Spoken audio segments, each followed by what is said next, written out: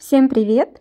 Сегодня в видео я раскрашиваю на камеру в раскраске Бульде Пуаль и немного рассуждаю на тему э, подложки в раскрасках антистресс, для чего она нужна и чем ее можно делать и чем конкретно мне а, она помогает.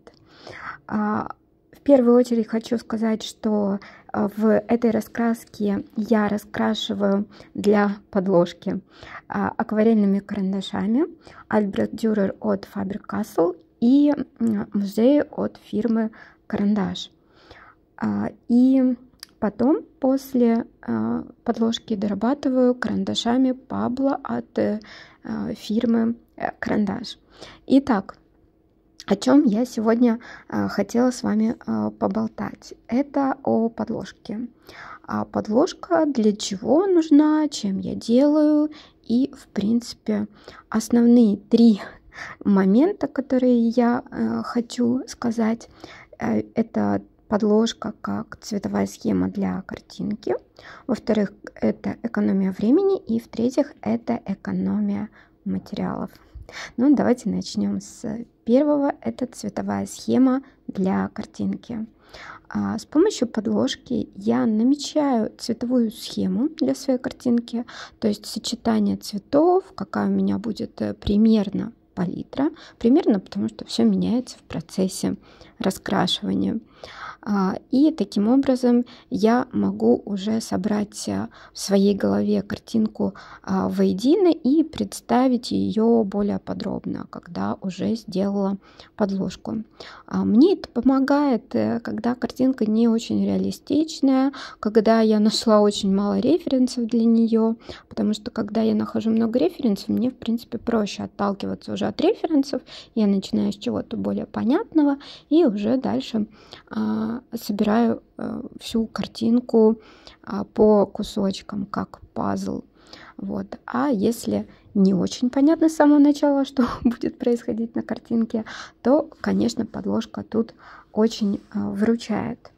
А, таким образом, подложка помогает видеть картинку целиком, а не отдельные ее части. Чем можно делать подложку? Ну, здесь вот вы можете как раз видеть процесс размытия акварельных карандашей. И подложка акварельными карандашами – это очень удобно. Почему? Потому что акварельные карандаши можно нанести довольно-таки точечно, а, тонко. А, они очень быстро размываются и довольно быстро высыхают. Ну, по крайней мере, по сравнению с а, акварелью. Вот. Также акварель как подложка, но тут есть, конечно, нюансы с бумагой. Выдерживает бумага или нет. Если бумага тонкая, то она скорее выдержит акварельные карандаши, чем акварель, к сожалению.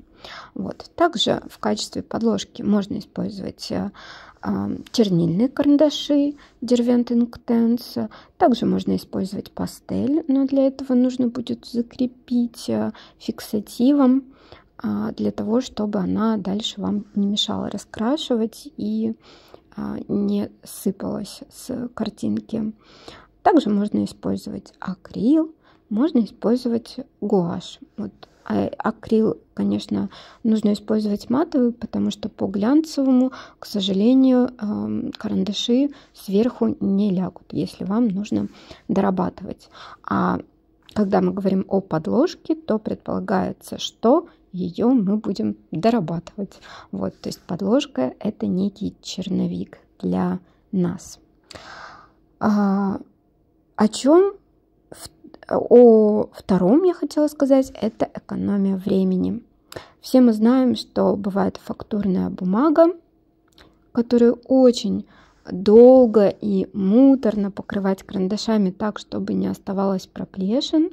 И как раз-таки для экономии а, времени на множество, нанесение множества слоев мы и используем подложку. Она позволяет нам иметь уже перед доработкой а, какой-то цветной слой и уже намного быстрее дальше работать по нему карандашами. Вот, потому что проплешин не видно, фактура бумаги уже немного сглажена, и таким образом мы тратим меньше времени на картинку. И третье, что я хотела сказать о подложке, это экономия материалов. А подложка позволяет а, сэкономить грифель а, простого, ну точнее цветного карандаша при доработке. Потому что если наносить карандаш на белую бумагу, то для того, чтобы а, иметь э, яркий э, слой без текстуры понадобится несколько слоев, скорее всего, а если карандаш довольно жирный, то очень сильно на него давить. Если у вас есть призмы, и вы ими раскрашивали по какой-то фактурной бумаге, вы представляете, что такое, когда карандаши тают на глазах. Ну вот как раз-таки подложка позволяет немного сэкономить а, такие мягкие карандаши. Вот. А если карандаши более твердые, ну, например, Faber-Castell полихромосы, а, их и так э, не приходится часто точить, если вы работаете легкими слоями. Но если у вас уже есть подложка, то и их надо будет использовать поменьше. И, соответственно, и э, даже твердые карандаши а, будут экономнее использоваться с подложкой, а, в принципе, любым материалом. Вот. И, кстати, еще от материала подложки зависит и дальнейшая фактура, фактура бумаги, потому что некоторые подложки немного сглаживают фактуру, а некоторые подложки немного а, как раз-таки ее шершавят. Вот. Если у вас очень гладкая бумага, а вам нужна не такая гладкая, а чуть-чуть пофактурнее, то в принципе в качестве подложки даже может использоваться обычная вода. То есть вы смачиваете воду, э, вы смачиваете лист водой, и после высыхания а, лист гладкий уже приобретает более шершавую текстуру. Единственное, вам нужно действовать аккуратно, потому что если бумага очень-очень тонкая, то, конечно, она может сильно повредиться при покрытии водой. И даже если вы аккуратно все делаете, там могут образоваться какие-то а, заломы. Вот, поэтому аккуратнее протестируйте, не лейте много воды, и таким образом для дальнейшей уже работы карандашами у вас будет более шершавая бумага, более подходящая для нанесения а, нескольких слоев, а не одного. На видео вы сейчас можете наблюдать а, активацию акварельных карандашей водой. Здесь вы можете использовать как обычную кисть с водой, так и кисть с резервуаром. Тут э, зависит скорее от того, к чему вы привыкли. Далее, после того, как уже все высохнет, потому что если вы по невысохшему э, слою будете дорабатывать, то вы можете очень сильно повредить э, бумагу, э, потому что пока она мокрая, она очень такая подвижная, и, в принципе, даже ее можно порвать когда все высохло, дальше мож, уже можно дорабатывать.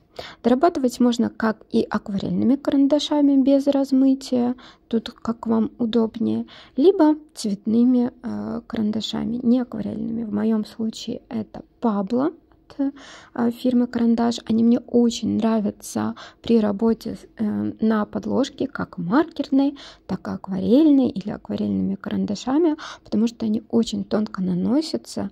У них очень такая приятная текстура, и они растушевываются прямо а, в дымку. И как раз-таки они а, позволяют очень а, быстро скрыть какие-то проплешины, неровности, потому что, а, как вы видели, акварельные карандаши я наношу очень небрежно, что, кстати, экономит также время.